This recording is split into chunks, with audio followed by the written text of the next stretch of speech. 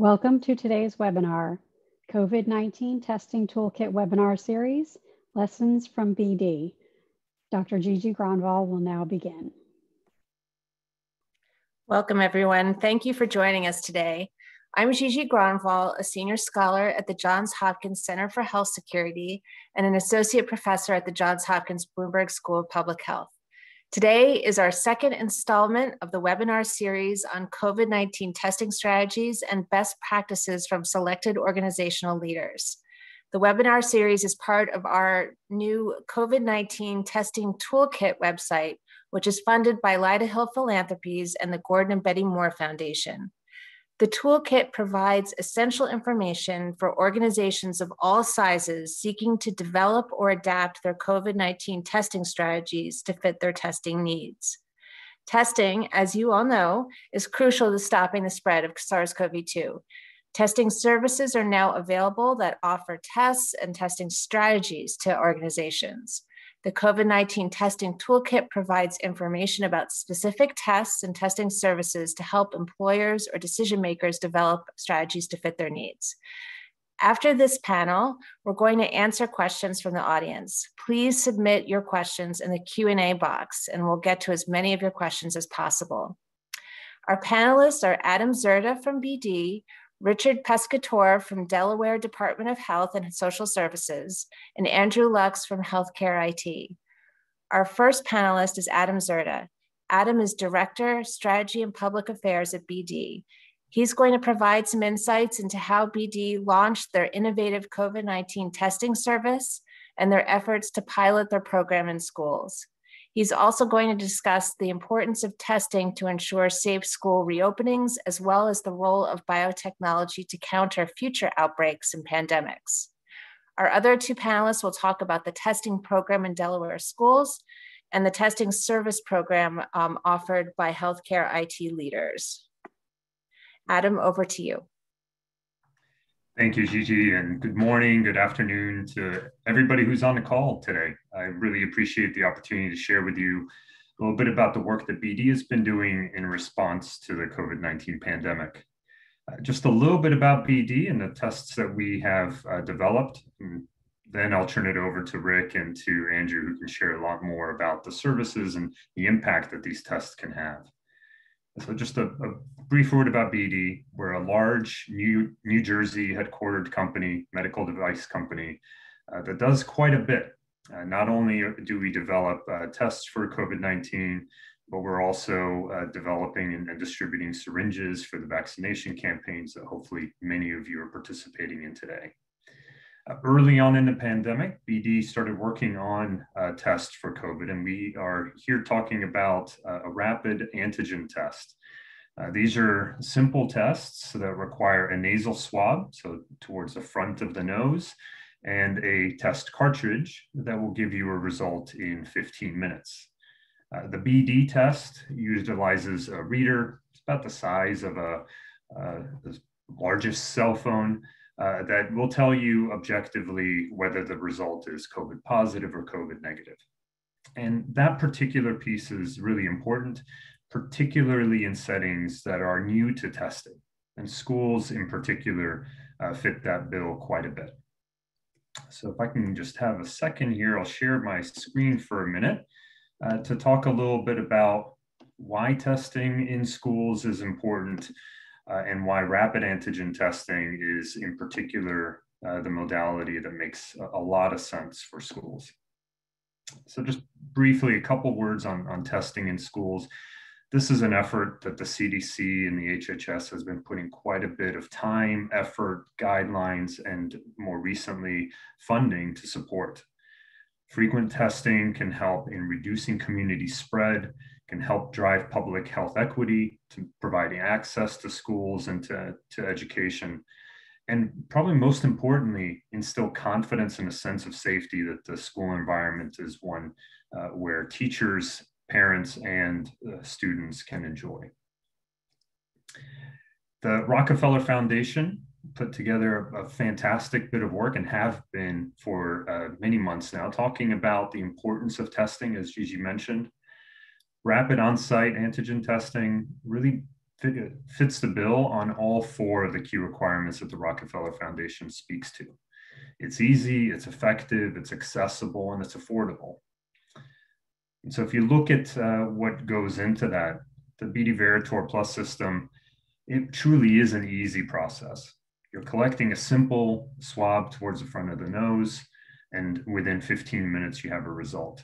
As you'll hear uh, about the experience in Delaware, as some of the teachers there explained it to their students, if you can pick your nose, uh, you can get swabbed. And, and it really is uh, that simple. The reader is portable, it's accessible. You can put it into a school, into a classroom environment, into a gymnasium or an auditorium, depending on how that, uh, that uh, testing or screening program is run. And it's effective. We have now been used uh, since the fall uh, to conduct millions of tests across the country, starting with the most vulnerable populations in nursing homes, and then more recently, as you hear from Rick, in schools. And these tests really are affordable, and you get a result the day of, right? So there's no waiting for a result to be sent back to you. And just one quick slide, and I'll turn it back over to turn it over to Rick to share with you some of the experiences that he's had uh, with this uh, testing system in Delaware. If you check out the bdveritor.com website, you can scan that little QR code in the top corner of the screen. It'll take you straight to the website. There you'll find resources on setting up testing programs within school settings you also find examples and case studies, including a, a nice video of Rick, your next speaker, uh, speaking about how testing in schools really uh, is uh, transformative to provide that safety and confidence to students. Um, on behalf of uh, the tens of thousands of BD employees around the world and the tens of thousands here in the US, I'm just very proud of the work that we've been able to do to make these types of innovations available. So Gigi, I'll, I'll turn it over. I'll stop sharing and turn it over to you. Great. Thank you, Adam. Our next panelist is Richard Pescatore, Rick Pescatore, sorry, Chief Physician, Associate State Medical Health Medical Director, Delaware Department of Health and Social Services um, in the Division of Public Health. Rick, over to you. Thanks so much, Gigi. Thanks also, Adam. Um, I do uh, work for the Delaware Division of Public Health, where we have been extremely fortunate over the past several weeks to months to have a fantastic partnership with our Department of Education that subsequently um, culminated in the distribution of testing and testing equipment to 84 schools across our state and the institution of high frequency antigen testing within those schools. Now, the implementation of that testing has been fairly heterogeneous in that the districts and the schools approach that testing in a, a different manner and how they see fit. For example, we have a number of schools that um, do testing once weekly, while uh, some other schools do testing once every other week, while some other schools uh, hold testing for their athletes only. That being said, far and away, our most common implementation is once weekly testing of all students within the school, um, which qualifies as what we call high frequency antigen testing. This has really been a, a fantastic program for implementation implementation in Delaware, it did take um, strong collaboration between the public health side of government as well as the education side of government and ongoing conversations with the people who are most likely to operationalize this, which is, of course, schools and employees within schools. This began with a working group uh, in August of last year uh, that included individuals from the health side of government as well as the education side of government that really examined the best ways to implement this type of testing, how it was going to be done, and where it was going to be done. We learned a lot of lessons along the way that became critically important as we began to extrapolate this testing frequency across schools and as we begin to grow the footprint of testing throughout Delaware. Some of those lessons were surprising. Lessons like certainly there are children who can swab their own noses, but there are going to be uh, children within schools who need assistance in swabbing their noses. Lessons like understanding that school nurses, while the natural uh, thought point that they would uh, implement this type of testing, are overwhelmed with the amount of COVID mitigation efforts that they're called upon to implement in their schools every single day. And so by working with these school nurses, by working with representatives from the education side of the house, uh, we were able to successfully identify just how we were going to do this. And we were able to move and identify that a rapid antigen testing strategy was more likely to bring us the confidence and competence in a program that we were looking for. And so we implemented a testing program um, in the state of Delaware. And what this looks like is that every uh, school in Delaware that performs this testing has obtained their own CLIA certificate of waiver. They receive tests distributed from the state government um, and they implement that testing on their own. Most schools have designated testing teams. These are two to three uh, person teams that are um, no more than um, uh, workers who have been trained in the CLIA waived testing. And that's usually done either using online educational resources or via a Zoom interaction with myself or other physicians in the Division of Public Health. And then they are they gather the uh, uh, techniques and instructions and how they implement the testing. And then every school goes about actually physically implementing this in a slightly different way. We have schools that travel from classroom to classroom with a little cart, and you can see that in the video that Adam mentioned. They travel from classroom to classroom, pluck kids out of the classroom, swab their noses, and set them, send them back in. And it's tremendous that they're able to have a result within 15 minutes. And not only are they scientifically and, and abstractly keeping the schools safe by identifying asymptomatic carriage of COVID, they're increasing confidence in these students to the umpteenth degree. That was a significant piece of feedback that we received from students, from parents, from teachers, from school faculty, that everybody said, not only do I know that people are getting tested, so on some plane somewhere scientifically, I know that there's a mitigation effort and the likelihood of me getting COVID is lower, but I have this, uh, this increased confidence in going to school, knowing that there's this, uh, this newfangled uh, rapid identification of COVID, so nobody's gonna be in this building carrying asymptomatic asymptomatic carriage of SARS-CoV-2.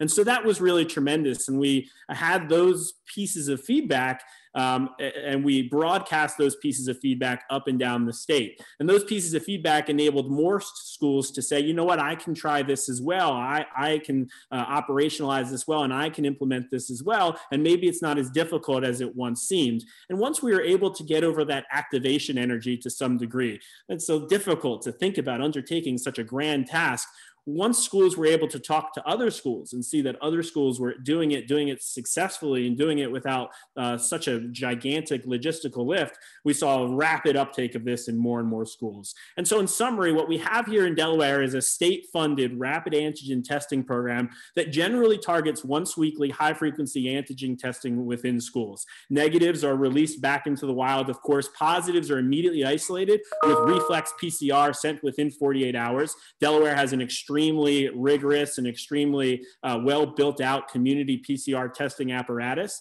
And so it's not difficult at all to have PCR test results in about 24 hours from reflex from there. This has seen an increased recognition of asymptomatic carriage of SARS-CoV-2 in our schools, um, both within students as well as within staff and faculty. And it has markedly increased our abilities to keep schools open, keep students and staff safe, and instill confidence and assurity in how we're uh, keeping those schools safe and open without, throughout Delaware. And so with that, I'll uh, stop talking. I'll hand it back to Gigi and thanks so very much. That was great. Thank you. Our final panelist today is Andrew Lux, who's the Director, Application Management and Implementations of Healthcare IT Leaders. Andrew, over to you. Thank you, Gigi. And hi, everyone. I'm Andrew Lux. Uh, I am our practice head at Healthcare IT Leaders for our COVID, or what we call our Healthy Returns solution, in our practice. Um, and before I dive in, I'll just do a quick recap on who we are as a company. Um, our roots are in IT consulting services in the healthcare and provider arena and servicing large health systems across the nation and hospitals, some of those in your backyard as we speak. Um, but when the pandemic started, we decided to really take a pivot in how we approach things and, and looking across those that were affected and decided to pair up both our clinical staffing and care coordination long-term support arm uh, with that IT consulting services, project management, some of those elements that we've been ranked, um, uh, top ranked in the healthcare IT industry with, and really come to about uh, forming a COVID-19 practice. Now, the concept behind all of this is really very simple.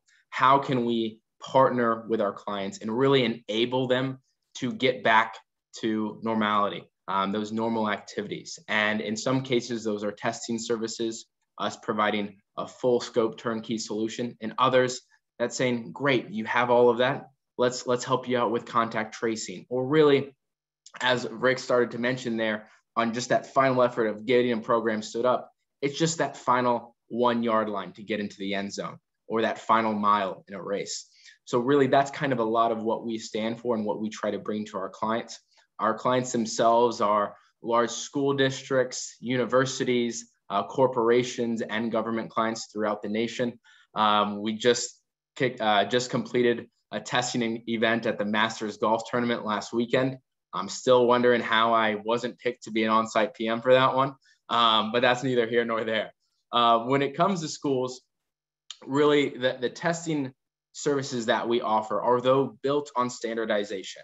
Our best practice playbook that we've continued to tailor and optimize every rolled out new project and new project really still have due to their multi-tiered support level, have a nice customization level at each uh, at the individual school level that really allows us to both bring our lessons learned and best practices, but really build off the specific use case. Um, the different type of school.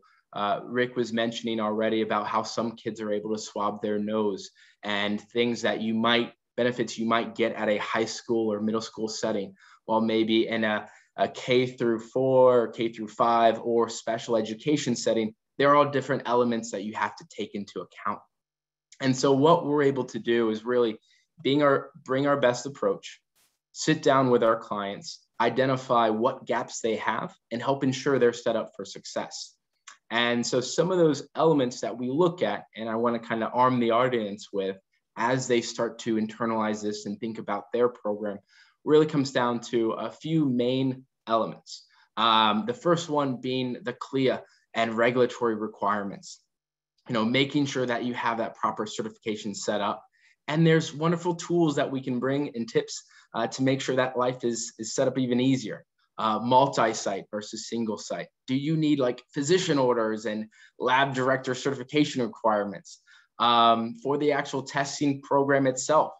You know, where are you going to complete the testing? Are you going to be able to do the classroom by classroom approach, which is really great, especially for those elementary schools, because I could only imagine what a bunch of uh, first graders would, would, that chaos that would ensue if they all had to line up in the gymnasium and go one after one. Um, the testing schedule itself, you know, not only are you trying to get everybody in once a week or potentially twice a week if there's some high contact or or sports components even on the athletic side but then also how are you going to funnel everybody through and get them done in time and close the loop to make sure you're set up um, and, and have everybody checked off from a compliance perspective. Um, also with this is the overall just full workflow. Uh, so some of the elements that we can do that Adam teamed up uh, or kind of mentioned early on is the overall training that goes along with this and making sure that you have everything from check-in and collection all the way through to resulting. And on resulting, you know, what about the individual themselves? How would you get the result not only back to them, but back to the school or corporation or district that needs to handle everything from a resulting perspective and, and the actual compliance? And then back to re- regulation, we still have the actual reporting you have to do to the state. And this is critical for not only tracking elements there, but also the county kicking off contact tracing and registering the trending of, of positive or negative results. Uh, so all of those elements are very critical to the program. Um, but one of the key elements that we've started talking about already in this discussion is the actual product itself. And, and not just you know getting PPE set up or handling biohazard waste, but actual the tests themselves. And one of the great benefits that we've had kicking off you know 50 plus engagements across the states is, is working with Becton Dickinson on a vast majority of those. Um, and it's something where us healthcare IT leaders, and although we do support multiple test products and have strategic products or partners there, uh, we've had great success with them. Uh, one of the, the best benefits has been uh, the constant available capacity to meet our clients' demands. And so with us, not only do we bring our playbook, but we bring a lot of integrations to some of the key and primary solution partners out there. Uh, so that's always a great benefit. The more that can be alleviated from our client's shoulders and those results firing back to either the individual or the state uh, real time. So I talked about all of the big critical elements out there in the variables, and I'm sure you guys already have, whoo, uh, getting a little overload. But let me talk to you now about our solutions, what we bring to the table, and how we check those boxes or fill in those gaps. Because what we want to strive again is really partnering with our clients to ensure we're taking into account those comparative advantages um, in the most cost efficient manner. Um, and, and, the two things I will say that is consistent no matter who we talk to is that one, uh, none of this was budgeted or planned for, and funds are being pulled from elsewhere. And two, everybody's needs are different. Um, so, really, how I'm going to go into this is starting out kind of the base layer and working our way up. Um, because, again, this way you can kind of see how that applies to your situation. So, the first part is really those schools or clients that you know believe they have everything in place. They've They've been like some of those great schools in Delaware who have already started rolling this out and are wonderful and said just, hey, how do we how do we take this to the next level? How do we roll it out testing now to everybody? And for some of these clients, it's really just they need advisory support. They just need a partner who can be with them to help either A, maybe check those compliance and regulatory boxes for them in partnership. How do I go about doing this? Or, hey, I'm a school district. I have 10, 15 schools can you just help me complete the process for one and then we can take it from there? Again, kind of that final, you know, one yard line to get across into the end zone. Uh, from there, the flip element in the IT in our name is our technology platform. So it's it's not so much the handling all the students. Hey, we do this with fluoride and with standardized testing. We know how to circulate and enact with or interact with every single individual in the school. Um, but we don't want people living and breathing in Excel every day.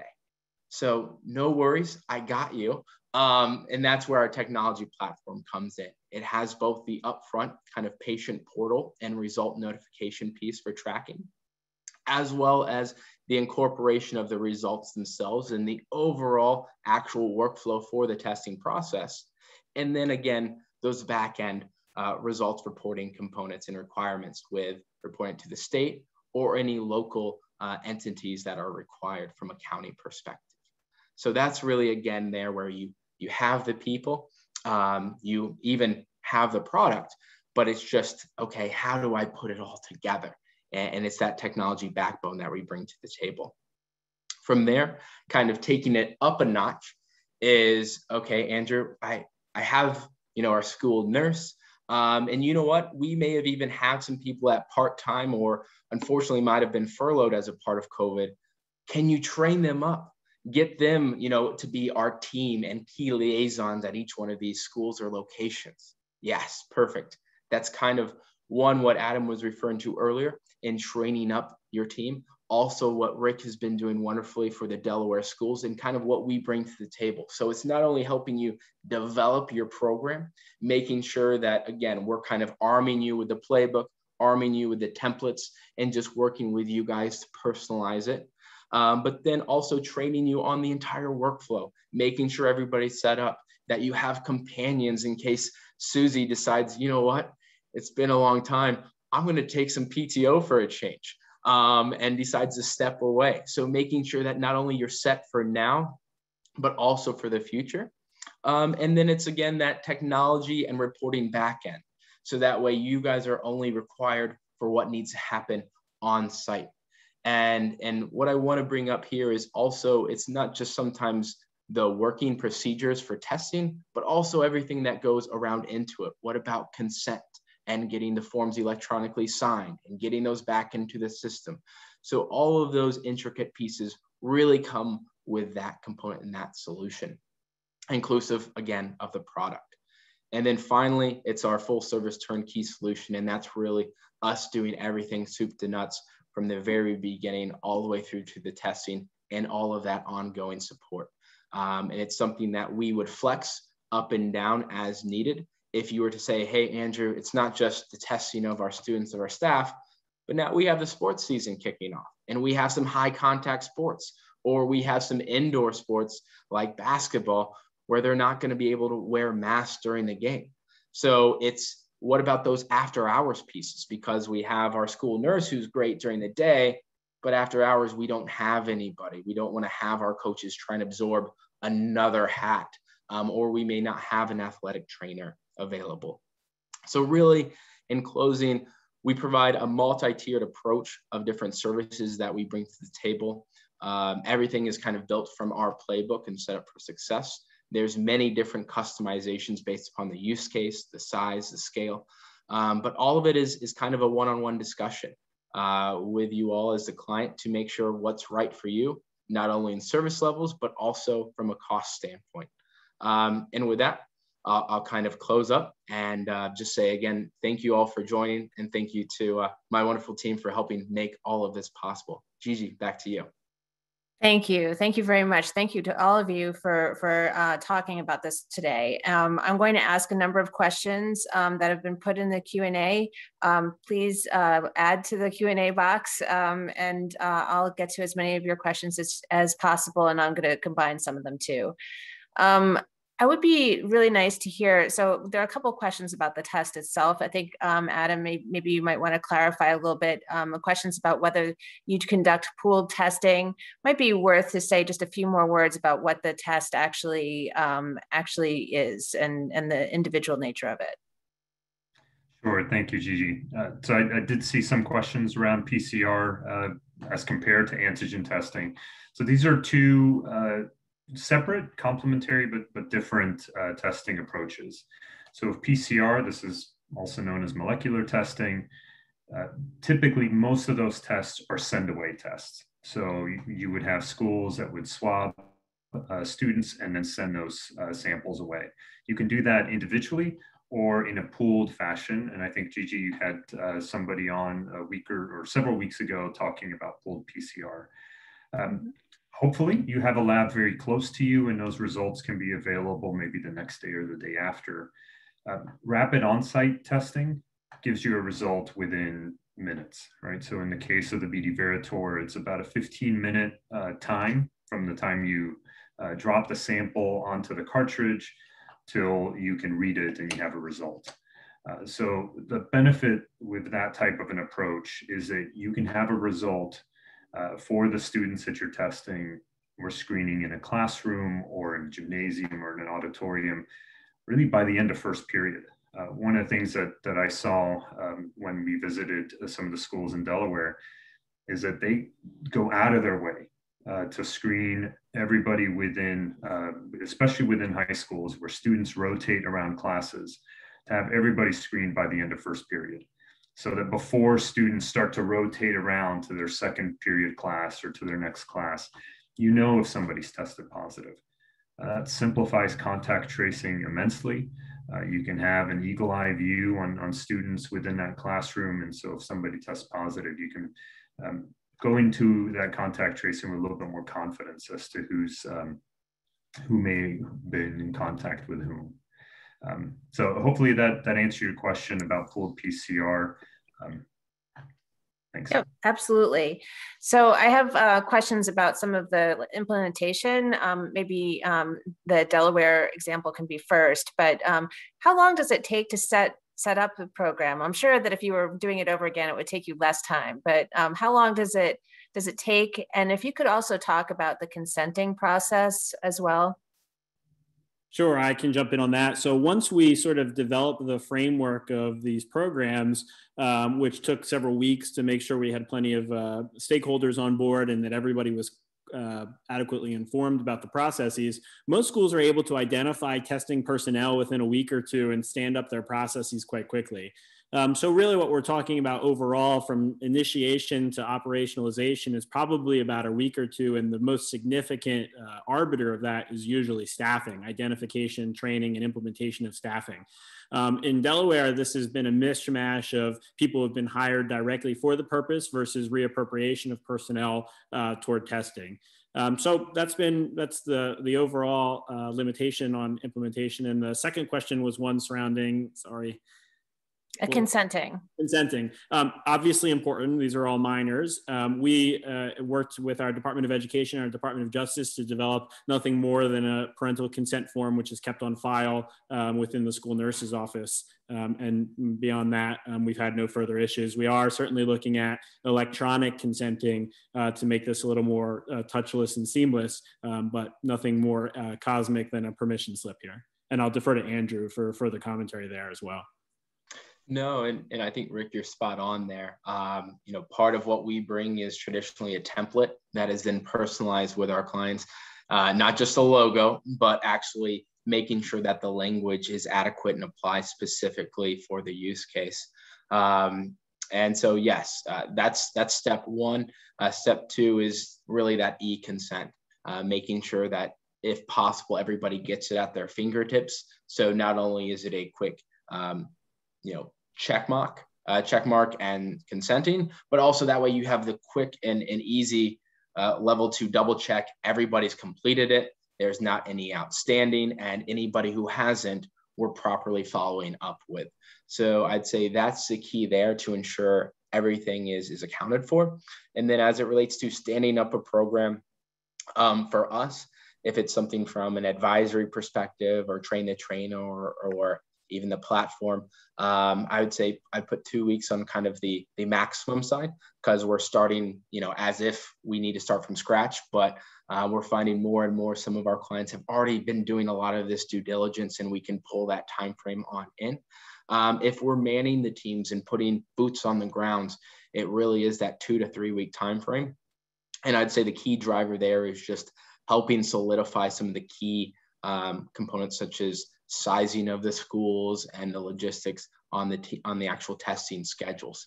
Um, but again, that's kind of the far end, um, as if we need to start from scratch, and then you know it comes in based upon our clients' availability. So I think people are I would still like a little more information about um, how how it gets implemented. Like how um, the the Veritor works one test at a time. So how do you manage to to test um, all the the students in uh, by the end of first period? How how does that how does that work? I'll, I'll speak to how we've seen this operate in some schools, and then Rick can speak to the specific Delaware example. Um, so we have examples where uh, some schools will swab students as they're coming off as, as, they're coming off the bus, and then immediately take those samples off and, and process them uh, separately as students uh, go on to, to first period class. Obviously, the samples need to be labeled, right? So on the cartridge here, you've got some room to put in a name, date stamp, or time stamp uh, so that when those 15 minutes pass, you can simply slide it into the device and, and run it. Um, obviously, that scales with the number of uh, students that you're trying to process. Uh, but frankly, I was surprised at how uh, few resources it really need you really needed to run a program like this. And I think Rick can comment uh, more specifically. But when we looked at some of the schools that were running programs in Delaware, it was on the order of about three people per thousand or so um, uh, individuals being tested. Now, some of those are cohorted classes, uh, but it's frankly surprising at how, uh, how simple uh, that program might be to stand up and operate over the course of a day. So the CLIA waiver is not necessary to use the test, but um, but the staffing, there's no special training beyond learning how to, you know, uh, being able like there's no uh, certificate that's required for people to use the this test. Is that correct? No. So let me. I, I did see that question in the chat. The BD Veritor is a CLIA waived uh, test, so you do need a CLIA waiver certificate. Uh, some states have taken different approaches to uh, to that CLIA waiver process. As Rick mentioned, in Delaware, each school needs to have uh, needs to apply for that CLIA waiver across the country, most states have prioritized uh, processing those CLIA certificates for or CLIA waivers for COVID testing. In some states, uh, blanket waivers have been made available to make this as easy as possible. Uh, but yeah, the FDA considers this a moderately complex test, and so a CLIA waiver uh, is required. Mm -hmm. So, um, and beyond uh, Delaware, maybe Delaware can comment as as well. But um, you know, just if you're starting in another state, Um, is this something that goes to the through public health, or does the legislature need to approve such a venture? Um, you know, how do you how do you go about it? Maybe if you're a school administrator, how would you go about um, setting this up? And so I've seen a number of examples. Uh, the example in Delaware is one that, that I've been calling kind of a top down. It's not a centralized approach, uh, far from it. I, as Rick mentioned, schools opt into the program. Uh, but what Rick and, and, the state of Delaware have done is making it as easy as possible for schools to opt in, purchase the tests, and then distribute them to schools that want to conduct testing. Uh, other states have gone more of a decentralized approach. Um, with the funding that's been coming from the Biden administration recently to support mass uh, testing in schools, some states have said, look, this is up to individual school districts to pursue on their own. Uh, so in that case, I would encourage the, the superintendents who are on the call here uh, to reach out to your county health department, maybe to your state Department of Health, and understand what that program looks like. Uh, you may be uh, uh, free to purchase or to pursue your own approach, uh, or the state may be recommending a particular approach. But generally speaking, um, when we were speaking with the CDC recently, they were asking about you know, what what what have we seen across the country in terms of these programs? Uh, universally, I think one of those things that schools are seeking is an easy as, as, as possible process. You know, I think uh, schools very familiar with testing, uh, but not this kind of testing, right? Number two, testing, yes, this kind of testing is foreign, it's new. Uh, and so anything that state leaders can do to make that process as simple as possible, as, as Rick has done in Delaware, is, is very welcome. Mm-hmm.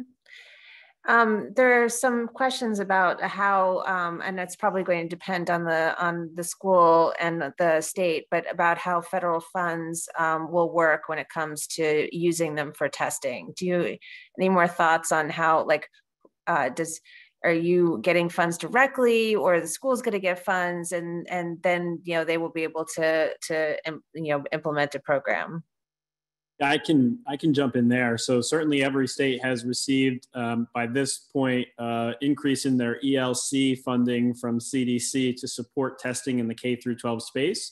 Um, and I believe that the final grant justifications are due in like a couple minutes or something. But ultimately, states um, will identify what they do with those funds, with 85% of the funds uh, directed um, specifically at increasing, jumpstarting testing within the K through 12 space, whether that be um, rapid antigen testing, pooled PCR testing, or some other iteration of um, surveillance, or I'm sorry, screening testing within schools. Um, there are different ways that states can go about this, whether it be contracting directly with a testing provider, um, uh, much like what Andrew represents, whether this be the allocation of funds down toward schools and school districts um, for them to take on this challenge by their own, um, or whether this be allocation of funds for an entirely different aspect. I agree with everything Adam said um, with respect to uh, superintendents and school administrators reaching out to their local and state uh, health authorities. Uh, it's very likely that within the next few days to weeks, um, opportunities for identification of uh, highly increasing uh, screening testing within schools will be sought. Thank you. How, how are you going to handle vaccination? So um, it's going to be a while before uh, K through all K through 12 um, is eligible to, to get vaccine. But um, are you going to keep uh, vaccinated people in the um, testing protocols? No, they'll be removed. So consistent with CDC um, protocols, we will remove fully vaccinated individuals from uh, screening testing algorithms. Mm-hmm and um, that should uh, that should help for as far as workflow goes. But um, there are questions about like so I'll read it directly. Is the Veritor time test time sensitive in terms of waiting time to process the swab? So, you know, once people uh, swab their noses, um, is there is does the clock start then, or does the clock start um, once you start the processing to to be able to put it into the cartridge? Uh, so I'll, I'll, try to keep it as simple as possible, but there's several clocks. so once you swab a sample, there is a, a, a, certain amount of time that you need to process that sample.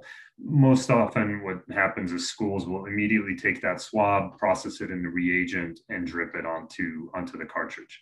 and then you need to wait 15 minutes. So that allows uh, this cartridge, this test strip to process the sample and give you a result or, or start to um, uh, provide a result on the face of the cartridge. At that point, you can read it. You should not wait too long, and this is true for all antigen tests. The longer you wait, there's continued chemistry that's happening. And so in our case, what we recommend is that those tests be read within 30 minutes of that process. But again, most schools uh, want to have that result as quickly as possible. All of that information is online in our instructions for use and encourage you to uh, go to the website for more details. How about um, diagnostic versus surveillance testing? So um, th this is a program to basically try and see if you can find asymptomatic uh, COVID, um, people who have COVID but are asymptomatic, they're in school. Um, if somebody uh, has some of the symptoms of COVID, would they still be part of this uh, testing methodology or would they be um, sent home and asked to take another test or how does that work? Um, I can certainly comment on Delaware's approach to that. Um, rapid antigen tests are, of course, a, a, useful diagnostic adjunct for the rapid identification of symptomatic COVID and is, in fact, the best implementation of those tests. However, at least in how we've implemented this testing in Delaware, it's, it's reserved solely for asymptomatic individuals and in screening testing. And so, really, the way we justify it is anybody with symptoms shouldn't be in school anyway and should be taking advantage of our community testing, which in our community testing, we have both PCR and antigen antigen testing available for um, Delawareans. Mm-hmm. Yes, um, hopefully that that uh, the trend to keeping sick kids at home will will continue. Uh, you know, in, into uh, past once we're done with with uh, the COVID experience, um, that that will continue. Um, how about uh, do people opt out? Is there some you know the consenting process is uh, you already described, but is there are a lot of people who are parents who want don't want to be part of this or there's schools that have been resistant to it uh, can you talk a little bit about you know how to get people on board yeah, I'm sure there's room for a national perspective on this. Uh, speaking a little bit about hometown here, um, we've not seen tremendous hesitancy with uptake of testing in schools. Where we did see some was rapidly overtaken quite quickly once the uh, efficacy and safety of the program was witnessed by parents and students. Um, our initial uptake in schools was uh, somewhere around the 50 to 60% of students in each school participated in the swabbing. Um, but that has since escalated to my understanding about 85% of students across the schools that we've implemented in testing engage in this.